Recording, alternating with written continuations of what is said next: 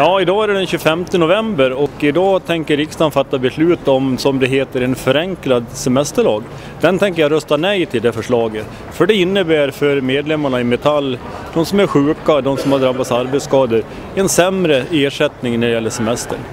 Och det kan vi aldrig acceptera, för det innebär i principen en lönesänkning för de här löntagarna. Eh, IF Metall är utanför riksdagen idag och delar flygblad till eh, alla riksdagsledamöterna. Förhoppningsvis så lyckas vi att dela till de borgerliga som eh, lägger det här vansinniga förslaget. Slår direkt mot våra medlemmar och framförallt mot de arbetsskadade.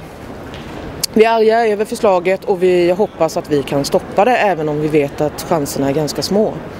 Konkret så innebär förslaget att alla riskerar att få en lägre semesterlön i alla fall på sikt. Eh, långtidssjuka drabbas direkt. Eh, de blir av med 13 semesterdagar och de arbetsskadade slås ännu hårdare som nu riskerar 25 betalda semesterdagar i förlust.